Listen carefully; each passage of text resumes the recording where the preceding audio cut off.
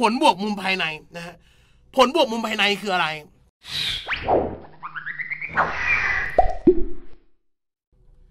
ข้อ 81 เริ่มตุยต่อ คุณครูทางหน้าเพจฝากกดไลค์กดแชร์ด้วยนะคุณครูนะ ทางหน้าเพจนะครับนะ ฝากกดไลค์กดแชร์ด้วยนะครับนะเอกคณิตศาสตร์พรุ่งนี้เจอกันนะครับนะเอกคณิตศาสตร์ในกลุ่มลับเจอกันนะครับนะอะต่อไปคุณครูต่อไป เหมือนทุกตรงเลยค่ะ มันไม่เหมือนได้ไงก็เอาข้อสอบไปมานะเออเออครูครูยาครูยาครูยานันทรครูชื่ออัญญาคุณครูนะครับเออจำได้เพิ่งติวย้อนหลังวันนี้อ่าเห็นไหมเหมือนทุกตรงเลยครูชยาชชยาภานะครับนะเออโอเคไหมแล้วต่อไปคุณครูบอกสูตรสิข้อนี้เอ้าบอกสูตรหน่อยสิเออนี่ครูพลอยมาแล้วนะ เออ มาบอกสูตรใกล้ๆนะครูพลอยนะมานี่สินะ คนอื่นบอกสูตรหน่อยพิมพ์สูตรหน่อยนี่ในช่องแชทใครรู้จักสูตรนี้อะอ่ากลุ่มลับที่ซื้อเมื่อปีหกสามติวสี่อยู่ไหมคะนะอยู่หมดเลยคุณครูไม่เคยปิดกลุ่มอะนะครับนะแต่คุณครูเคยเข้ากลุ่มหรือเปล่าแค่นั้นเองนะครับนะตอนนี้ก็ติวอยู่คุณครูนะครับว่าตลกไปนะครับนะอย่าหาว่านะครับนะตอนนี้ก็ติวอยู่นะครับนะโอเคไหมตอนนี้ติวอยู่ตั้งแต่ปีหกสามก็ติวอยู่นะครับทุกคน รู้จักสูตรนี้ไหมปอปอบวกปอปอได้ปอปออย่านิ่ง อย่านิ่ง ใครนั่งฟังอยู่อย่านิ่งนะฮะอ่าโอเคครูปานแก้ว โอเคอ่ารู้จักปอปอชีวิตจะง่ายขึ้น ประยุอะทุยอะไรวะเดี๋ยวเออรู้จักปอไหนฮะนะปอนี้ใช่ไหมปอในสูตรนะคุณครูนะครูอภิวัตนะอ่าอะปอปอบวกปอปอได้ปอปอนะครับนะ อ่าแต่ลืมว่าทำยังไง โอเค นิดเดียวนะ เสริมให้ ถ้ามีบวกคือผสมนะฮะถ้าตรงกลางเป็นลบคือละเหยแค่นั้นเองจำได้ไหมแล้วปอปอปอปอมีสองปอปอก็คือของสองอย่างมาผสมกันนะครับนะอ่าผสมเออยังเออยังขาดอีกปอครับนะเออปอสองปอพอคุณครูนะครับนะเออปอปอสองปอเอ่ออะไรวะเดี๋ยวปอปอนี้กับปอนี้ก็คือของสองชนิดนะฮะ ชนิดที่หนึ่งกับชนิดที่สองผสมกัน เท่ากับคือได้ได้ของชนิดที่สามนะครับนะอ่านี่ทวนนิดเดียวนะ ต่อไปปอแต่ละปอมันคูณกันอยู่คืออะไรนะครับนะ ของหนึ่งชนิดเนี่ยทุกคนนึกภาพนะ โจทย์เรื่องเนี้ยของหนึ่งชนิดเนี่ยที่เรียกว่าของผสมเนี่ยของหนึ่งชนิดเนี่ยจะมีปริมาณและเปอร์เซ็นต์อยู่ในตัวของมัน เช่น ถ้าพูดถึงแอลกอฮอล์นะฮะก็จะมีปริมาณของแอลกอฮอล์แล้วก็มีความเข้มข้นของแอลกอฮอล์โอเคไหม ถ้าพูดถึงน้ำส้มก็จะมีความเข้มข้นของน้ำส้ม และมีปริมาณของน้ำส้มนะฮะให้ทุกคนเอามาคูณกันในของชนิดเดียวกันนะครับ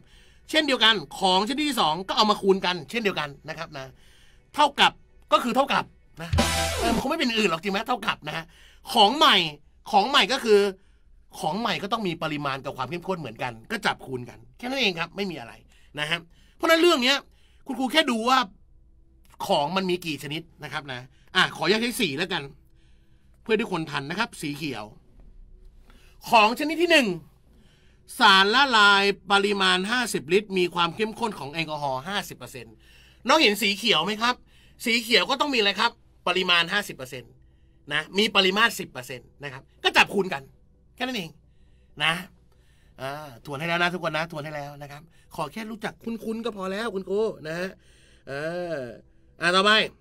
ครูปานแก้วปริมาณกับเปอร์เซ็นต์ถูกต้องฮะต่อไปครับต่อไปต่อไปสีเหลืองแล้วกัน ถ้าต้องปรับความเข้มข้น 60%ถ้าต้องปรับความเข้มข้นเป็น 60%นะฮะจะต้องเติมแอลกอฮอล์กี่ลิตรนะครับ คุณครูครับคำถามครับ ของชนิดที่สองสีเหลืองหรือสีฟ้า อนนี้น้องรู้สีเขียวแล้วสีเขียวคือของชนิดแรก แล้วมันจะมันจะผสมกับอะไรครับ พี่แก๊ปก็เลยถามว่า สีเหลืองหรือสีฟ้าครับ ที่มันจะผสมกัน สีไหนฮะ คุณครูตอบหน่อยฮะ สีไหนครับ สีเขียวแล้วนะกับอีกสีหนึ่งสีไหนที่มันจะผสมอะสีไหนฮะถ้าต้องปรับความเข้มข้นเป็นหกสิบเปอร์เซ็นจะต้องเติมแอลกอฮอล์ไปกี่ลิตรนะฮะสีไหนที่จะมาผสม คำตอบคือ สีฟ้าถูกต้องครับ เออ ใครพิมพ์แบบไม่ลังเลนะ ขอสาธุเลยนะครับนะลังเลนิดหน่อยก็ให้สาธุเลยนะครับนะ เออ เราต้องอ่านโจทย์เข้าใจจริงไหมว่า อ๋อ สีเขียว แล้วจะเติมสีฟ้าเข้าไป โอเคไหมจะเติมสีฟ้าเข้าไปก็คือ เอาสีเขียวกับสีฟ้ามาผสมกันโอเคไหมอ่าสีฟ้าผสมกับสีเขียวถูกต้องคุณครูนะฮะเพราะสีฟ้าคือตรงนี้นะครับ ผลลัพธ์จะได้อะไร ผลลัพธ์จะได้สีเหลืองนะฮะแค่นั้นเองนะครับ ที่เหลือน้องพี่ทุกคนแทนค่าเข้าไป ลุยเข้าไปมาเริ่มแทนค่า ปริมาณ 50 ลิตร ความเข้มข้น 10%ใส่ในสีเขียวครับ 50 คูณกับ 10 เห็นไหมอ่าอาจารย์คะเดี๋ยว เปอร์เซ็นต์ไปไหน ไม่มีไม่ต้องใส่ไม่ต้องใส่ส่วนร้อยไม่ต้องนะครับ เรื่องนี้ใส่เลขตรงๆ เห็นเลขอะไรใส่ตรงนั้นนะครับนะ ต่อไปบวกก็คือผสม ผสมก็สีฟ้าเพื่อนว่าสีฟ้าเนี่ยน้องดูตรงเนี้ยเขาบอกว่าเติมแอลกอฮอล์กี่ลิตรนะครับ อันดับแรก น้องไม่รู้ว่าปริมาณกี่ลิตร น้องให้เป็น x ไว้ก่อนนะไม่รู้ให้เป็น x ไว้ ก็เติมเท่าไหร่ไม่รู้เนาะโจทย์ถามเข้าใจไหมฮะต่อไปคำว่าแอลกอฮอล์นะฮะ ถ้าใครเคยฟังคนตัวกลมๆนั่งติวมาบ้างเนี่ยนะครับนะ พี่เคยพูดประจำนะครับ อะเขียนเพิ่มไปนะครับ ใครไม่รู้เขียนเพิ่มไป น้ำน้องในกลุ่มไม่ต้องเขียนนะ ในคอร์สติวติวไปแล้วนะครับนะในบางคนนั่งจดใหญ่เลยเหมือน เหมือนไม่เคยติวมาก่อนนะครับนะสำหรับน้องในคอร์สเนี่ยอันนี้พูดถึงในกลุ่มนะนั่งจดใหญ่เลยเหมือนไม่เคยติวมาก่อนนะครับนะติวไปแล้วคุณครูนะครับนะอยากพูดไปเบาว่าติวแล้วนะครับนะถ้าในโจทย์เขียนว่าน้ำเฉยๆ หรือน้ำเปล่าก็ได้นะครับ ความเข้มข้นจะคือศูนย์เปอร์เซ็นให้น้องใส่เลขศูนย์ใช่ไหมแต่ถ้าวันสอบมีคำอะไรก็ตามที่มีคำว่าแท้นะครับ มีคำอะไรก็ตามที่มีคำว่าบริสุทธิ์นะฮะมีคำอะไรก็ตามที่บิดเพียวๆนะครับนะ อะไรก็ตามที่มีคำว่าแท้ เช่นน้ำส้มแท้แอลกอฮอล์แท้ไม่มีแอลกอฮอล์แท้ไม่มีนะครับนะเอ่ออะไรก็ตามที่มีคำว่าแท้ แอลกอฮอล์บริสุทธิ์อะไรเงี้ยนะครับ อะไรก็ตามที่เป็นคำเหล่านั้นเนี่ยน้องสันนิษฐานเลยว่าความเข้มข้นคือร้อยเปอร์เซ็นต์ให้น้องใส่เล็กร้อยไปเลยนะครับนะอ่า เพราะฉะนั้นข้อนี้เนี่ย วันนั้นเนี่ย คนออกข้อสอบเนี่ยเขาอาจจะลืมคำว่าแท้ไปก็ได้นะครับน้องก็ต้องเดาเลยว่าอ๋อเติมแอลกอฮอล์ต้องเป็นแอลกอฮอล์แท้แน่เลยนะครับนะแสดงว่าแอลกอฮอล์บริสุทธิ์เนี่ยมีความเข้มข้นหนึ่งร้อยเปอร์เซ็นต์อาจารย์รู้ได้ไงอะก็เขาไม่ได้เขียนเปอร์เซ็นต์มาเข้าใจไหมอ่า คุณครูนฤดลโอเคหนึ่งร้อยคุณนิกหนึ่งร้อยถูกต้องฮะครูพัฒนพลหนึ่งร้อยถูกต้องโอเคนะครับนะเออทางนี้มีตอบไหมโอเคนะครับนะเออเพิ่งทวนวันนี้เลยโอเคนะครับนะอ่าเพราะนั้นวันสอบเนี่ยต้องมีเซนส์ว่าเอ๊ะเขาไม่เขียนเปอร์เซ็นต์มาว่ะแล้วจะใส่เลขอะไรว่าจะใส่เป็น y เหรอไม่ได้จะใส่เป็น y ก็ไม่ได้ มันต้องเป็นตัวแปรเดียวนะครับ เพราะฉะนั้นคุณครูจะเป็นอย่างนี้เสมอนะครับนะโจทย์นะ ถ้าไม่มีเปอร์เซ็นต์ใส่เลยหนึ่งร้อยไม่ไม่กระสูนใส่ไปนะครับนะ เท่ากับ ของใหม่ของสีเหลืองทุกคนเขาบอกแล้วว่าของสีเหลืองต้องการปรับความเข้มข้นเป็นหกสิบเปอร์เซ็นน้องพี่ใส่หกสิบรอไว้ได้เลยนะครับนะหกสิบรอไว้นะใส่หกสิบรอไว้ได้เลยนะครับเขาต้องการปรับเป็นหกสิบเปอร์เซ็นตนะครับ ทุกคนดูตรงนี้ เปอร์เซ็นต์รู้แล้ว ขาดปริมาณว่ะ คุณครูอ้าวอาจารย์แคปแล้วปริมาณหนูจะเอาจากไหน ทุกคนครับมัน make sense คุณครูใส่สีเขียวไปห้าสิบลิตร คุณครูใส่สีฟ้าไปเท่าไหร่ไม่รู้คือ x แสดงว่าคุณครูเทรวมกัน เทรวมกันต้องเป็นห้าสิบบวก x นะครับนะห้าสิบบวก x ใช่ไหมอ่าอันนี้เหมือนนั่งติวคอร์สติวเลยว่ะนะครับนะอันนี้เป็นวิวข้อสอบแล้วเนี่ยทุกคนนะครับนะแต่ว่าพี่กลัวน้องไม่เข้าใจกลัวหลายคนลืมอะไรเงี้ยนะครับก็ทบทวนให้ มันได้แค่เอาใส่ตัวแปรให้ถูกที่เท่านั้นเองนะครับนะอะที่เหลือพวกเราคูณเลขครับจบแล้วห้าสิบคูณสิบได้ห้าร้อยนะครับนะบวก x คูณร้อยได้ร้อย x นะฮะที่เหลือพวกเราคูณเลขเอานะครับนะ ต่อไปหกสิบอยู่หน้าวงเล็บ คูณกระจายเข้าไป เปิดวงเล็บคูณกระจายเข้าไป คูณปั้ง คูณปั้ง คูณกระจายนะ อย่าลืมกระจายนะทุกคนนะ ต่อไปเริ่มหกสิบคูณห้าสิบศูนย์สองตัวหกห้าสามสิบศูนย์สองตัวเป็นสามพันนะครับนะสามพันต่อไปหกคูณ x หกสิบคูณ x เป็นบวกหกสิบ x ที่เหลือย้ายข้างหาค่า x จบแล้ว นะฮะอ่าที่เหลือน้องจะย้ายอะไรไปอะไรก็ได้ โดยส่วนใหญ่เขาจะย้ายตัวเลขไปรวมกับตัวเลข ย้ายตัวแปรไปรวมกับตัวแปรโอเคไหมอ่าอย่างตัวแปรตรงเนี้ยย้ายไปรวมกัน พี่ก็ขอย้ายหกสิบไปแล้วกันนะครับนะเพื่อมันจะได้ไม่ติดลบนะเพราะว่าหนึ่งร้อยตั้งมันจะไม่ติดลบนะครับ พี่ขอย้ายหกสิบไปนะครับ ถ้าตัวแปรไปด้านซ้าย ตัวเลขก็ต้องไปด้านขวา เพราะนั้นห้าร้อยตัวนี้น้องก็ย้ายไปด้านนู้นนะครับนะอะขออนุญาตย้ายหนึ่งบรรทัดนะครับ ย้ายหนึ่งบรรทัดก็จะกลายเป็น หนึ่งร้อย x นะหนึ่งร้อย x 60 จากบวกอยู่นะ ย้ายไปลบนะครับลบ 60x เท่ากับ 300 อยู่ด้านขวามือ 500 ไปนะครับนะ 500 ไปเป็น 3,000ลบ500 เห็นไหมเอออาจจะเขียนเลขไม่ชัดนะ โอเคปะประมาณนี้นะครับ ที่เหลือทดเลขจบแล้ว 100 ลบออก 60 นะครับ 100 ลบออก 60 เหลือ 40x นะครับ เท่ากับ สามพันลบห้าร้อยสามพันลบห้าร้อยเป็นสองพันห้าทุกคนช่วยพี่ลบเลขด้วยนะ ช่วยพี่ย้ายข้างด้วยนะ ถ้าย้ายข้างอะไรผิดน้องรีบบอกนะครับนะ พี่แก๊ปไม่ได้มีโพยไม่ได้มีเฉลยนะครับ ใครเคยติวกับพี่จะรู้ดีนะเเพราะนั้นการคิดเลขผิดเนี่ยเป็นเรื่องปกติเลยนะครับทุกคนเพราะนั้นช่วยกันทดเลขด้วยนะครับนะพี่แก๊ปไม่ได้มีโพยมานั่งท่องสอนพวกเราไม่เคยไม่ใช่อาจารย์แก๊ปและไม่ใช่ทีมวิทยากรไม่ใช่ครูเก๋ไม่ใช่ครูตีที่มานั่งท่อง ไม่ใช่ครูนุ่มไม่ใช่ครูมัดนะไม่ใช่ครูเทพนะครับนะ อาจารย์เทพนะไม่ใช่คนเหล่านั้นที่มานั่งท่องนะครับวิทยากรพี่ทุกคนไม่มีใครนั่งท่องนะฮะสอนจากสมองสอนจากวิธีคิด สอนจากประสบการณ์ทั้งสิ้นนะครับ เพราะฉะนั้น ช่วยกันทดเลขด้วยนะครับนะฮะทำไมอะทุกคนเริ่ม x เท่ากับ2,005นะ หารด้วย 40 นะครับนะตัดเลยฟับฟับตัดเลยนะฮะที่เหลือคิดเลขครับ 250 250 หารด้วย 4 นะคิดเลขเลยนะครับ ตัดเลขเลย 4 ตัด 25อ่า6 4 24จับลบกันเหลือเศษ1ชักศูนย์ลงมา 4 2 8 นะครับนะ 62 มีช้อยไหม62 มีมีช้อยข้อเดียว 62 มีช้อยข้อเดียวตอบช้อยข้อที่ 4 ครับผมกดปั๊บเลยนะฮะใครยังไม่สะใจไปเปิดหนังสือนะครับนะ ไปเปิดหนังสือเนาะติวเรื่องนี้ไว้อยู่แล้วนะครับปปบวกปปได้ปปนะครับนะ อะไรที่เป็นของผสมใช้บวก อะไรที่เป็นระเหยใช้ลบนะฮะอ่าตรงนี้นะ เปลี่ยนไปนะครับนะโอเคปะประมาณนี้ ต่อไปฮะแปดสิบสองคุณครูต้องไปฝึกเยอะๆนะ อันนี้มันเป็นเพียงแค่ข้อเดียวที่เคยออกนะครับนะ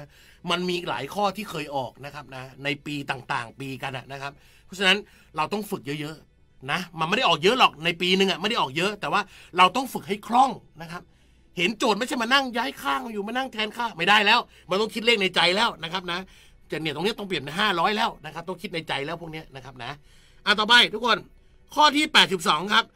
สามยกกำลังสองห้าหกสามมีเลขหลักหน่วยเป็นเลขใด ทุกคน ข้อนี้พูดถึงเลขหลักหน่วยฮะเป็นเลขใดครับ ทุกคน เรื่องนี้เรื่องอะไร ถ้าทวนนี่ยาวนะ เรื่องนี้เป็นเรื่องอะไรครับ เรื่องนี้เป็นโจทย์วนลูปนะฮะถ้าน้องทำบ่อยๆน้องจะรู้ว่าสามกำลังหนึ่งมันจะได้สามสามกำลังสองมันจะได้เก้าสามกำลังสามจะได้ยี่สิบเจ็ดสามกำลังสี่จะได้แปดสิบเอ็ดพอสามกำลังห้ามันจะกลับมาตัวเดิม เห็นไหมมันจะลงท้ายเหมือนเดิม ข้อนี้สนใจเลขหลักหน่วยนะฮะก็คือสามเก้าหนึ่งสี่นะ แต่มันจะลงตัวไหนล่ะสามเก้าหนึ่งสี่ทำไงครับ หาลูปก่อน ข้อนี้คือลูปสี่เยี่ยมมากคุณครู หารูปก่อนจำรูปได้ไหมฮะ อ่าวนรูปอ่าครูเก้าเยี่ยมมากครูเก้าโฟตี้นะเออนี่ครูปานครูปานโอเคเจ็ดค่าโอเคนะครับครูต้นเจ็ดครับนะ อ่าครูพินครูปินมานีอ่าเจ็ดค่าโอเค พอน้องรู้เรื่องลูปแล้ว น้องเอาลูปสี่ของน้อง ข้อนี้เป็นลูปสี่นะครับ เขียนไว้ก่อน เขียนตรงนี้ก่อนลูปสี่นะฮะเดี๋ยวจะหาว่าพี่สอนข้ามขั้นนะครับนะลูปสี่คือทุกๆสี่ตัวมันจะวนซ้ำกลับไปหากันเหมือนเดิมนะสามเก้าเจ็ดหนึ่งสามเก้าเจ็ดหนึ่งเขาเรียกว่าลูปสี่นะครับนะพอเจอลูปแล้วทำไง เอาสี่ไปหาเลขชี้มลังตรงนี้ เอาสี่นะครับ ไปหาเลขชี้มลังก็คือสองห้าหกสามหาแล้วดูอะไร หาแล้วดูเศษจำได้ไหมครับ ทวนนะ ถ้าหาแล้วเหลือเศษหนึ่งตอบตัวที่หนึ่งตัวนี้ ถ้าหาแล้วเหลือเศษสองตอบตัวที่สองถ้าหาแล้วเหลือเศษสามตอบตัวที่สามถ้าหาแล้วเหลือเศษสี่ลงตัวตอบตัวที่สี่นะครับนะอ่าจำได้ไหมพอน้องติวไปเรื่อยสักพักหนึ่งติวไปติวไปติวไป น้องจะรู้ว่าการหารด้วยสี่ไม่ต้องหารเต็มๆแบบนี้ การหารด้วยสี่คือหารแค่สองตัวท้ายพอก็คือหกสามเลขหลักหมื่นไม่ต้อง การหารด้วยสี่เฉพาะการหารด้วยสี่นะ เฉพาะการหารด้วยสี่นะครับนะเออบางคนไปเปิดหนังสือดูมันมีหารหกด้วยหารหกก็สองตัวท้ายไม่ใช่สี่เท่านั้นที่เป็นสองตัวท้ายนะครับ เพราะนั้นตัดออกทั้งหมดเหลือแค่หกสิบสามนะครับ ตัดเลขครับทุกคนคิดเลข สี่หนึ่งสี่จับลบกันเหลือเศษสองชักสามลงมาสี่ห้ายี่สิบนะครับสี่ห้ายี่สิบจับลบกันเหลือเศษสามขอจะซูมออก เศษสามนี่คุณครูทุกคน นี่คือเศษเห็นไหมถ้าวันสอบได้เศษนี่ตบมือเลย ตบมือเลยว่า เฮ้ย ได้เศษแล้ว เศษสามตอบตัวที่สามนะฮะตัวที่หนึ่งตัวที่สองตัวที่สามตัวที่สามคือเจ็ดครับผม ข้อนี้ตอบเจ็ดครับผมผลปั๊บเลย รื่องนี้ฝึกบ่อยๆ สักสิบข้อเนี่ยน้องก็รู้แล้ววิธีการทำมันเป็นอย่างนี้นะครับ หาลูปนะพอหาลูปเสร็จเอาลูปตัวนั้นอะลูปสี่ตัวนั้นอะไปหารนะครับนะส่วนใหญ่ก็จะมีลูปสี่กับลูปสองอะตอนทำบ่อยๆนะครับกับลูปศูนย์นะทำบ่อยๆเนี่ยจะวนอยู่แค่นี้ครับนะโอเคนะข้อนี้เป็นเรื่องลูปนะครับนะสำหรับในกลุ่มในกลุ่มไปดูเรื่องเลขหลักหน่วยนะครับนะบางคนติวด้วยเหรอคะอ้าวทุกคน ไม่ติวจะใช่อาจารย์แก๊ปหรือ ทุกคน นี่ หน้าร้อยแปดสิบสองเห็นไหมนี่ นี่นะ นี่ ที่เคยออกข้อสอบมานะครับ นี่ เห็นไหมคุณยางคุณยางนี่ ที่เคยออกข้อสอบมาอันนี้ปีห้าแปดนะครับนะ นี่เห็นไหมคุณครูทำไมจะไม่ติวนะครับนะเออรออะไรข้อสอบออกปีละหนึ่งข้อสองข้อนะครับนะอ่าครูสุปริยาเศษศูนย์ เศษศูนย์เขาเรียกว่าเศษลงตัวนะครับ เศษลงตัวให้ตอบตัวสุดท้ายนะครับนะ ตัวท้ายคือตัวที่สี่นะครับนะโอเคไหมเศษหนึ่งตอบตัวที่หนึ่งเศษสองตอบตัวที่สองเศษสามตอบตัวที่สามเศษสี่ก็คือลงตัวเงินครูหารด้วยสี่คือลงตัวก็คือตอบตัวที่สี่นะครับ เพราะฉะนั้นตอบครูสุปิยานะครับ เศษศูนย์เศษศูนย์ก็คือตอบตัวสุดท้ายนะครับนะโอเคไหมลูปตัวสุดท้ายเลยนะครับนะอ่า EP ท้ายเลยเรื่องนี้ใช่ครับอ่าอ่า ดูเลขตัวท้ายของเลขชี้กำลังอย่างเดียวใช่ไหมคะใช่เพราะมีคำว่าเลขหลักหน่วยนะครับ ถ้าใครได้ติวอาจารย์แก๊ปจะอ่านโจทย์และจะล้ำลึกมากขึ้นนะครับนะต้องสอนให้อ่านโจทย์ให้เข้าใจก่อนว่าเรื่องนี้คือเรื่องอะไร เรื่องนี้คือเรื่องเลขหลักหน่วยนะครับนะเลขหลักหน่วยคืออะไร ไม่ว่าเลขจะกี่ล้านก็ตาม เลขหลักหน่วยคือเลขตัวที่อยู่หลังเรานะครับนะอ่าอ่าต่อไปครูคุมสอบจะโบกเราไหมนะครับนะ ใครโบก อาจารย์แก๊ปโบกเราเหรอไม่ใช่เอออันต่อไปฮะต่อไปคุณครูต่อไปต่อไป ข้อแปดสิบสามนะฮะคุณครูอาจารย์แก๊ปบอกแล้วอาจารย์แก๊ปจะทวนพื้นฐานมากไม่ได้ เพราะว่าเรามีเวลาจำกัดนะ อาจารย์แก๊ปก็ต้อง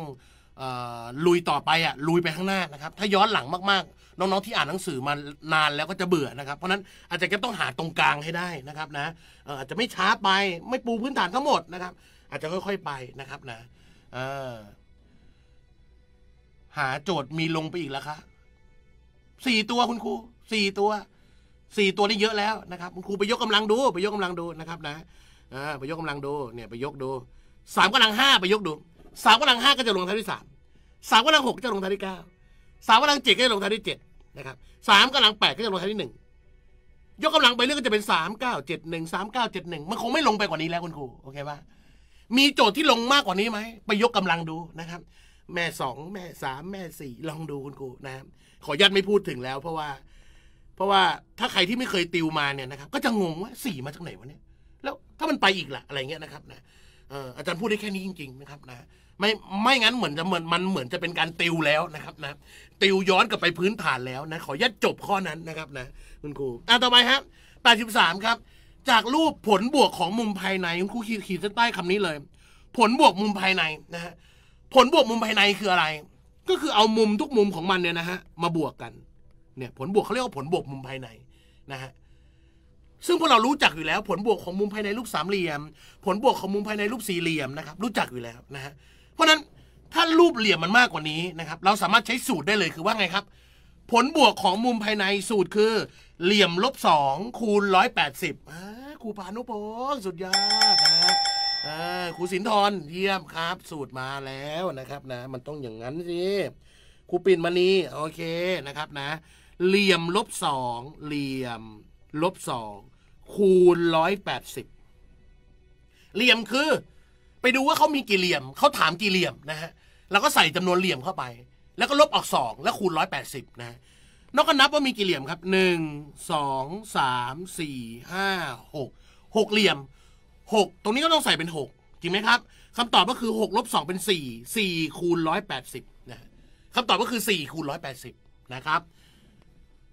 ท่องสูตรคูณบรรทัดเดียวไม่ต้องตั้งคูณนะ แม่สี่สี่คูณศูนย์ได้ศูนย์นะฮะแปดสี่สามสองใส่สองทดสามนะครับคำตอบข้อนี้ลงท้ายด้วยสองศูนย์แล้วมีช้อยข้อเดียวสองศูนย์ตอบช้อยข้อที่สามครับผมใครจะคูณตอบก็คูณนะครับนะแต่มันลงท้ายด้วยสองศูนย์แหละนะครับ ถ้าใครติวเรื่องนี้แล้ว ผลบวกของมุมภายใน มีสูตรที่น้องต้องจำคู่กันคืออะไรครับจำนวนเส้นทะแยงมุมจำได้ไหมอ่าจำนวนเส้นทะแยงมุมคืออะไรจำนวนเส้นทะแยงมุมก็คือ นับว่าเส้นทะแยงมุมมีกี่เส้นนะฮะสูตรคือจุดคูณจุดลบสามแล้วหารด้วยสองนี่คืออีกสูตรหนึ่งที่มาคู่กันกับเรื่องนี้นะครับ ต่อไปอีกชุดสูตรใหญ่ ๆ การจับมือการแลกของการจับมือสองฝั่ง การแข่งขันแบบพบกันหมด การแข่งขันแบบเย่าเยือนเห็นไหมมันจะมาคู่กันทั้งหมด นะครับ เพราะนั้นเรื่องพวกนี้จะมาคู่กันอยู่ในเรื่องกฎการนับนะฮะถ้าใครยังไม่ได้ติวเรื่องกฎการนับ น้องต้องไปติวครับ จะมีการนับรูปสี่เหลี่ยมด้วย จะมีการนับรูปสามเหลี่ยมด้วยนะฮะอ่าน้องไม่ต้องทบทวนทั้งหมดเลย เพราะมันไม่ได้ออกแค่เรื่องนี้ น้องรู้สูตรเดียวไม่พอนะครับ น้องต้องรู้เรื่องเส้นทะแยงมุม น้องต้องรู้ผลบวกมุมภายในซึ่งรู้แล้ว น้องต้องรู้การแลกของนะ การจับมือกันการจับมือสองฝั่ง การแข่งขันแบบเย่าเยือน การแข่งขันแบบพบกันหมดนะครับ อะไรอีกการนับรูปสี่เหลี่ยม การนับรูปนับรูปสามเหลี่ยมนะครับ ซึ่งมันจะเจออยู่ในนี้ทั้งหมดเลยนะครับนะน้องจะต้องไปทบทวนอยู่ในหัวข้อนี้นะครับ เปิดให้ดูนะ หัวข้อนี้ ใครมีหนังสือเล่มนี้แล้วเนี่ย เปิดไปหัวข้อนี้นะครับนะ ไหนเนี่ยอะไรวะเนี่ยเนี่ยหน้าสี่หกเนี่ยกฎการนับเนี่ยไปเปิดดูนะครับ มีอะไรบ้าง วิธีการจำจำยังไงนะครับนะ จะจำทั้งหมดเลยหรือวะอะไรเงี้ยนะครับนะมีวิธีการจำยังไงบ้างนะครับนะนับสี่เหลี่ยมเขาจำยังไง สี่เหลี่ยมจัตุรัสจำยังไง สี่เหลี่ยมผืนผ้าจำยังไง อยู่ในหัวข้อนี้ทั้งหมดเลยคุณครูนะครับอาจารย์แก๊ปขออนุญาตไม่ทวนสูตรนะเพราะว่ามันมันเริ่มข้างเริ่มเยอะนะครับนะเริ่มเยอะเนี่ยทุกคนดูตรงนี้เห็นไหมนับรูปสี่เหลี่ยมอะไรพวกนี้นะครับนะซึ่งติวกันไปหมดแล้วนะครับนะอยู่ใน EP เนี่ยเห็นไหมทุกคนตรงนี้ เราน่าจะน่าจะคุ้นชินกันบ้างนะครับนะสำหรับคนที่ ติวมา พี่เชื่อว่าไม่ว่าติวเตอร์คนไหนก็ต้องสอนเรื่องนี้นะครับ พี่เชื่ออย่างนั้นนะ เพราะว่าคนที่ติวเตอร์ที่มีความชำนาญในเรื่องภาค กเนี่ยเขารู้ว่ามันออกอยู่แล้ว การนับรูปสี่เหลี่ยม การนับรูปสามเหลี่ยมเนี่ยเจออยู่แล้วนะครับนะเขาน่าจะสอนพวกเราอยู่แล้ว การจับมือการแลกของการจับมือสองฝั่งนะครับ ไม่ว่าติวเตอร์คนไหนต้องเคยสอนพวกเรานะครับ พี่เชื่ออย่างนั้นนะฮะเอออะท่านคงปฏิเสธไม่ได้ใช่ไหมครับว่า การบรรยายครั้งนี้นั้นมีประโยชน์ ขอฝากท่านส่งต่อความสำเร็จ โดยการกดแชร์ กดไลค์ กดติดตามคลิปนี้ เพื่อทำให้เป็นการให้ที่ไม่มีที่สิ้นสุด และติดตามอาจารย์แก๊ปได้ในโอกาสต่อไปครับ สวัสดีครับ